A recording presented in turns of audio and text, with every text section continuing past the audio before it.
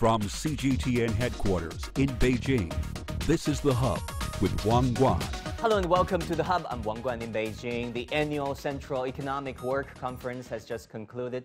That is a very important meeting concerning China's economy, setting the tone for China's economy going forward. It's a challenging year for China's economy, to put it mildly, uh, with the country's GDP slowing down in the third quarter to just 4.9 percent. And elsewhere in the world, the COVID variant is ravaging parts of the world. Uh, supply chain disruptions is happening, emerging with a, you know, as a major problem around the world. How should China and the world at this point find a way forward and help the global economy recover? To discuss all this, I'm very pleased to be joined today from Beijing by Jörg Wuttke, President of the European Union Chamber of Commerce in China. Mr. Wuttke, welcome to the Hub on CGTN. My first question is about China EU trade.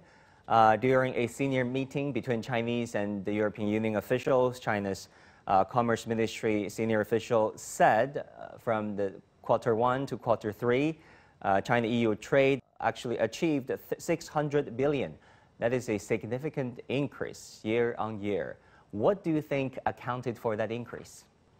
Well, frankly, uh, it's a very lopsided increase. China just produces everything the world needs in a lockdown, be it medical equipment, uh, be it electronics. Uh, if you look into the data set, you see that actually month by month, uh, China's export into the European Union is growing between 35 and 40 percent, whereas the imports from Europe into China actually are either 1% plus or 1% minus. So there is definitely a huge increase, but it's all due to the fact that Chinese exporters are incredibly uh, successful, and that shows that the European Union remains the market number one for China. Uh, yeah, right. Uh, because China, you know, uh, replaced other countries as EU's largest trading partner in 2020. But you're talking about really a very important issue, you know, concerning European exporters. That is the trade deficit uh, for you guys, right? Um, what do you think explains the deficit? Why? Well, the deficit in itself is not bad. The US can live with the deficit since uh, decades very comfortably. It all boils down to, you know, is it because of uh, uh, different market sizes, different market demand patterns, or is it because of market access uh, issues? Now, of course, Europe is very open for Chinese products, hence this kind of uh, incredible success story in, uh, in goods. but at the same time, China remains more closed. But, you know, bottom line is Europeans like Chinese products, and that's not a bad thing. And then, uh, what do you make of China's, uh, you know, pledges of opening its, uh, you know, markets? And for example, we do see some opening happening in the financial services sector and agriculture sector, for example. Uh, do you see that and policy, you know, manifestations, statements like that, potentially impacting, you know, trade between the EU and China going forward? Well, uh, 20 years ago, China joined the WTO, and I must say, you know, I, I, witnessed that, and I've been part of this journey. We founded the European Chamber because of this. Uh, as China was opening up, we thought we could chip in our knowledge and provide recommendations.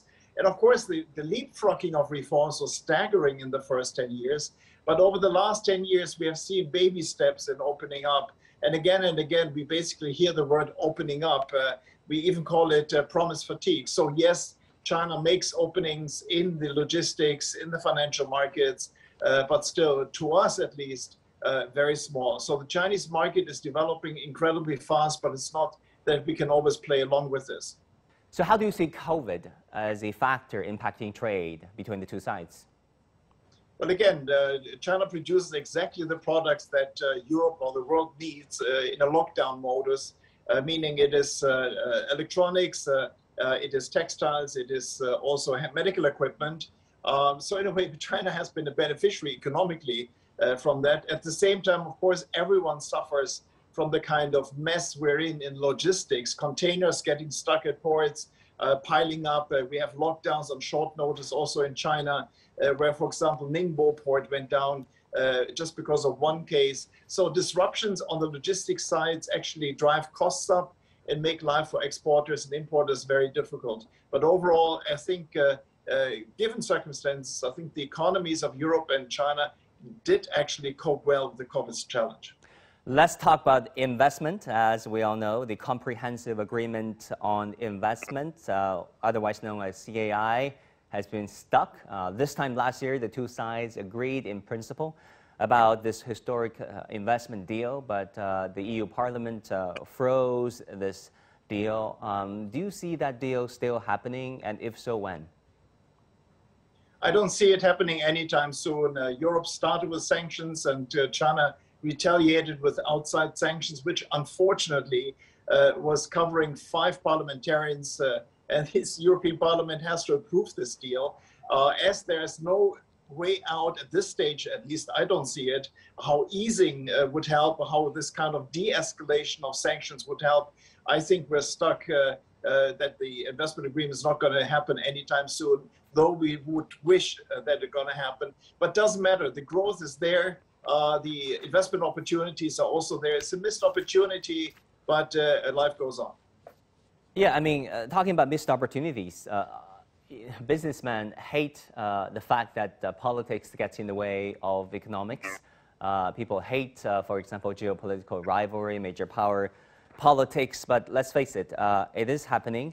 Um, and uh, you know, the, the CAI is frozen for you know largely a political reason. Um, but in principle, how do you see this deal, the CAI, potentially helping and contributing to you know increased investment? Of the two sides? Well, it was a small step. If you read the CAI, actually, after seven years of negotiations, it was a very thin soup, but it was a nutritious soup nonetheless. And uh, we had more openings in the car industry, we had more openings in the healthcare sector, we had a dispute settlement mechanism. All of a sudden, it was good for Chinese investors in Europe very important in order not to run into political headwinds. So all in all, it was not bad. And you know, business likes to get things done. We like to not have the uncertainty of a looming trade agreement somewhere. We wanted to have facts. Unfortunately, we had the facts, and 12 weeks later, they are in the freezer. But again, you know, we, we are dusting ourselves off and, and keep going. Um, and uh, we have to just see that with our recommendations, the European Chamber, we are also actively trying to contribute uh, to reform efforts in the Chinese government.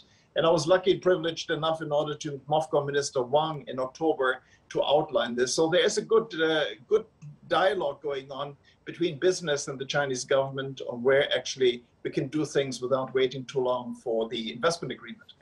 Uh, Mr. Wuttke, uh, talking about uh, you know a two-way street, many European companies are doing exceedingly well, and many point out the fact that Mercedes-Benz, a German car company, for example, uh, have co-production uh, in here in China, and they're selling very well in the Chinese market. Well, there are two dimensions of our economic relationship. One is trade, where again, China is selling twice as much to Europe as does Europe to China so there's definitely a lot of room uh, for improvement. As a matter of fact, six years ago, European Union companies sold more into Switzerland than into the People's Republic of China. But of course, the big success story is the investment over here, uh, the cars, the chemicals, the machinery, and so forth, where China has been opening fast. Manufacturing has been the area where we could access the market rather easily. And hence, uh, we have been very successfully uh, contributing to the economic de development of this country. So in a way, uh, if you look into the data set, uh, European companies are contributing with other foreign companies. For example, in Shanghai, 30% of tax income. So it's not just that we are successful, we also make the locations where we're based successful. But don't you think, uh, in a way, that says a lot about the, the size of the Chinese market and also, uh, you know, the ability, the capability of Chinese manufacturers? Because last time I checked with some of my business friends, uh, like you pointed out, uh, they have their cargo trains piling up in their tens of thousands at the border with Kyrgyzstan, you know, uh, at the Xinjiang uh, Kazakh border. The, the, you know, they cannot simply export because there are too many of them. Well, the, the train export indeed gets stuck. It's difficult, uh, uh, but you have to put it in perspective. Every train has about 50 containers. There are 7,000 trains going per year into Europe mostly full, coming back virtually half empty. Um, and 35,000 containers you can put on two ships from COSCO. So it's all relative. I mean, the real problem for us is uh, the problems we have in Chinese and European harbors, where also the uh, containers are piling up. But that's far more significant. The train, as a matter of fact, is just 0. point something percent of our trade engagement. Okay, President uh, let me ask you this. Um, you know, we do a lot of uh, shows on international politics, so I'm really tempted to ask you this question. The EU uh, designated China as three things a, a cooperative partner uh, in some fields, a, a competitor uh, in technology and other fields, a systemic rival. You know, when I asked uh, Nicolas Chapuis, uh, he said the rival is not such a bad word in Chinese. It should not be uh, 敌人. It should be something less uh, severe, uh, uh, less alarming. do you agree? I mean, um, it looks like the EU have very conflicting feelings about what China is to them. Well, it's not really conflicting if you just outline as it is. You know, I mean, we are definitely partners, good partners. We are competitors, particularly not only in our respective markets, but also in third country markets. And rivalry is systemic, is just where we come from. We have a totally different political system than China. And every decent communist knows that a dialectical struggle is in the cards. Systemic rivalry should not be unknown in China itself. So it's just a matter of fact. It's just how we deal with this, how fair and square we actually overcome this and not hurt each other. That's more important. Fact is, I think the three uh, areas are not only reflecting Europeans' attitude towards China, but also could be viewed as China's attitude on Europe. I mean, talking about the EU is not a monolithic whole, right? Uh, it consists of so many countries across the ideological, political, uh, economic, and uh, developmental spectrum. Um, personally, I mean, you've been living in China for so many years, uh, and uh, as a European, how do you see uh, the EU's relations with China going forward? Do you think it will be as one that is defined by rivalry, as many would predict, between the China and the U.S.? uh, when, it talk, when it comes to China and the EU? Well, I came to this country 40 years ago for the first time, by the way, by train. Uh, and I must say, I've witnessed the uh, economic miracle in, in, not only domestic development, also with the cooperation between Europe and China, not just in trade, in art, uh, in many other areas. Uh, and it has always been an up and better and deeper uh, I'm a bit dismayed about the recent developments of more confrontations and sanctions and threats, which I think is really disheartening. As you pointed out before, business doesn't like it. We don't want to be politicized. So if you ask me where we're heading, I hope that actually we we reach a status of uh, uh, status quo, that we have a situation where actually things don't get worse. We stop having sanctions imposed on each other. I hope, for example, we we experience the Olympics as a wonderful uh, sports event and not a political battlefield. And then we have to see small steps where we can agree upon. Climate change, for example, is one thing where we definitely have to work together. Biodiversity, there's enough stuff out there where we don't have to have confrontations. Uh, how do you look at the, you know, Washington's boycott of 2022 Beijing Olympics? Well, frankly, I think it's a pretty empty gesture. Nobody invited them. They are not coming here. Three weeks of quarantine. You know, it's easy to boycott something which you didn't want to attend in the first place. And then finally, uh, what do you see as the biggest growth uh, sectors uh, between China and the EU going forward?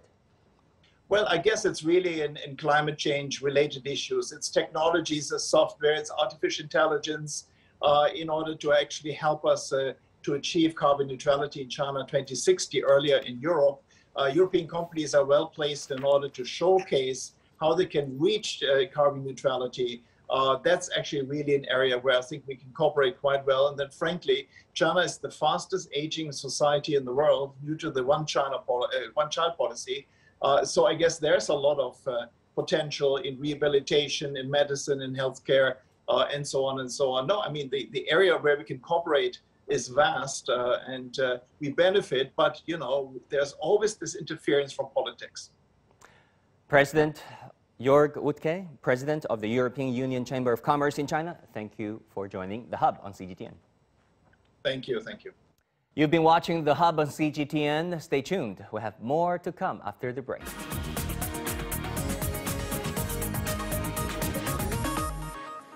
Welcome back to the Hub. Days ago, the British Chamber of Commerce in China released a survey on business sentiment in China. It shows that half of UK companies have seen earnings exceeding pre-pandemic levels. For more on that and on the Chinese economy, we have with us today in Beijing Mr. Steven Lynch, Managing Director for the British Chamber of Commerce in China. Uh, Mr. Lynch, great to have you here on the Hub on CGTN. Um, first of all, I'm just curious about this report. Um, what do you see as the most important findings of this survey?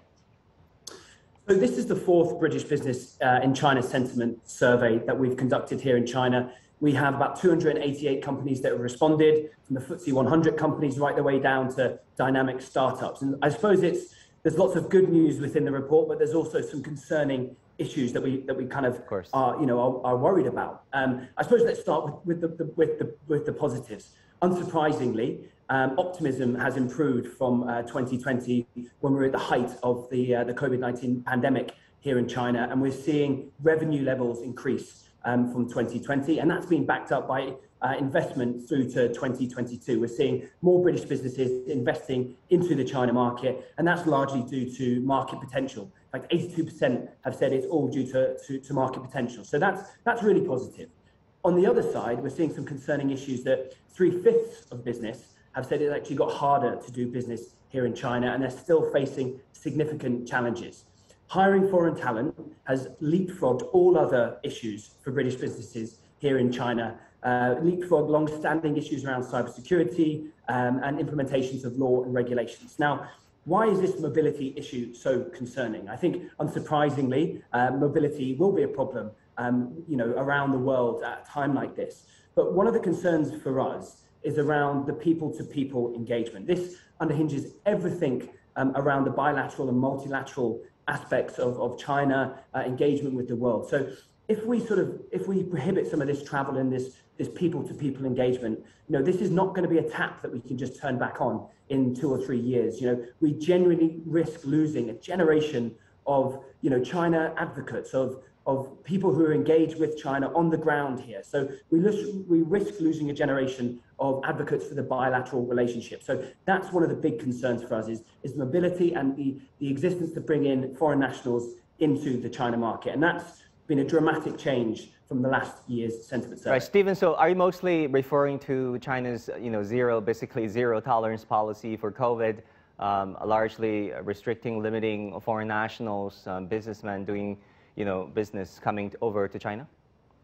Yes, exactly. So I think um, on one hand, China should absolutely be commended um, for their incredible uh, you know, zero COVID-19 policy. And I think you know, that robust COVID-19 uh, policy has allowed to very strong economic recovery. So we're absolutely not saying we want to bypass quarantine measures. We don't want to bypass you know, any of the health care or the COVID tests. But what we are looking for is certainty.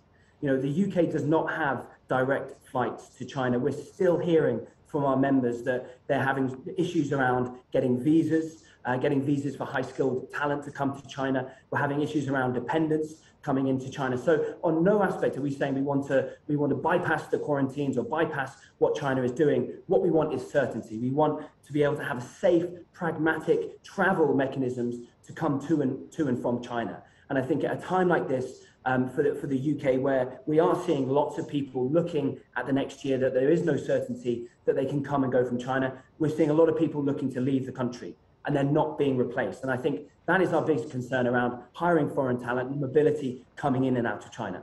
Yeah, I have some British friends here in China and uh, expats uh, for that matter. And, uh, you know, they've been talking about uh, their dependents not being able to make the trip over to China. Um, but looking at the survey that is called British Business in China Sentiment Survey.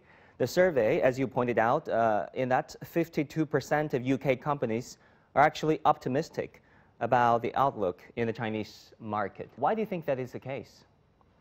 Well, this is largely uh, due to China's economic recovery due to COVID-19. As I, as I mentioned, you know, China should be commended for, for their zero tolerance policy on one aspect. You know, that has meant that the environment uh, can, can flourish uh, in that aspect. So a huge part of this is, is down to China's market potential, market opportunities uh, here in China. You know, a lot of the businesses have been here for over 40 years. You know, they're really committed here in market. Um, so again, you know, we're, we're seeing this optimism coming through. We're seeing optimism, optimism, optimism levels, sorry, uh, pick back up um, from 2020, and we're seeing that being backed up by investment. You know, we've also seen lots of um, you know positive engagement around the bilateral relationship uh, in the last few weeks and the last few months. Uh, and that's been highlighted uh, by a Boris Johnson, our Prime Minister, having a call with Xi Jinping. You know, that's an incredibly positive step uh, moving forward. So again, I, I think there, there's lots of optimism here in market. There's lots of opportunities. Um, of course, this sentiment survey looks at some of the, the market access barriers, the business environment, but we also highlight some of the incredible opportunities between the UK and China. And again, there is lots of opportunities moving forward into 2022. All right, we know that uh, policy matters in China, and uh, many, you know, uh, people who are China observers are watching very closely China's uh, senior most uh, leaders meetings. Uh, recently, China had a meeting between November, December the 8th until the 10th. It is called, you know, the Central Economic Work Conference, held by the Politburo of the CPC. Um, what's your takeaway from the meeting about China's economy going forward? Well, I think my, my, my, my takeaway is that there's this huge potential and there's huge opportunities to collaborate uh, and move move forward together. Again, when we when we talk about unlocking some of these market access barriers, we're doing this in the interest of both our nations, in both our nations to have this win-win collaboration. Um, so I think there's so many complementary areas in which the UK and China and the UK and Europe um, can, can, work together and, and, strengthen ties.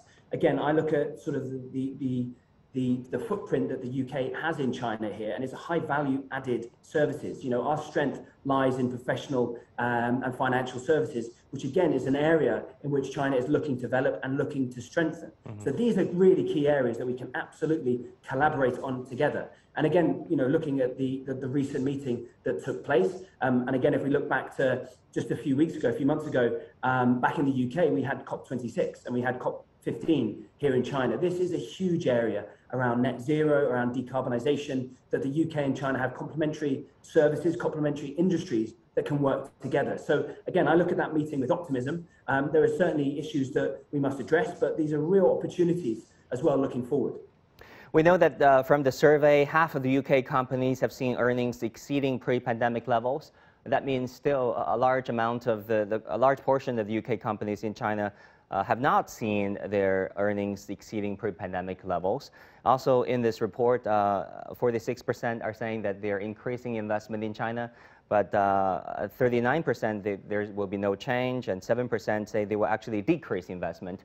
Um, can you give us a breakdown, uh, you know, when it comes to sectors and industries? Which sectors uh, are the British companies, exporters, uh, investors particularly interested in working with China and the Chinese market? Well, it's great. You know the numbers better than me, so thank you very much for that. It's my team. And what we're calling, uh, the, the, sort of what we've seen from, from the data is uh, a fragile recovery. There is there's still a long way for certain businesses uh, on the road to recovery. But again, as I mentioned, we are seeing these optimism levels increase. So some of the areas uh, where we're delighted to see improvement, um, retail, consumer goods. Um, we've seen opening up in the financial service sector. Um, you know, these are all really positive uh, movements, and we're seeing you know that being backed up by investment. We're seeing some of the issues uh, be addressed, some of the long-standing issues be addressed, and that's going to be that's going to be you know further improved by by further investment into the market. Not to you know that's to say not every sector is seeing this optimism. We've obviously seen unsurprisingly um, issues around the hospitality, around travel, around leisure, uh, and indeed education. And again, a big footprint of UK businesses here in China is education. Um, and again, they, that's the sector that's seeing the biggest disruption um, around mobility, around high level talent coming into the country, not to mention also the uncertainty around sort of regulations coming in as well. So again, we're calling a fragile recovery from the British business perspective. We're still not quite at pre-pandemic levels, but in many aspects, we're seeing recovery, and that's that's a really positive step moving forward. Right, uh, and then how do you see geopolitical tensions, uh, namely uh, China-U.S. rivalry, uh, impacting businesses and supply chains? So I think so. One, this is one of the questions we directly asked our businesses. You know, are you being impacted uh, specifically on the UK side, so the UK-China relationship? And half of businesses said they are concerned. They are concerned about the, the relationship between UK and China. But we asked this question last year, and it's had a 10% decrease of concern, which is again a very, very positive step in the right direction. As previously mentioned, we've seen lots of high-level bilateral engagement um, in the last few weeks. Uh, we've seen, again, I go back to Xi Jinping having the call with, with Boris Johnson. We've seen ministers, our health minister, Ma, having a, conversation with Sajid Javid. Um, Alok Sharma, the COP26 president, came here to China. So again, you know, it is a concern. Of course, it's, um, you know, people, members have said, but again, it's moving in the right direction. Um, and I think that's, that's kind of the critical aspect um, for our members.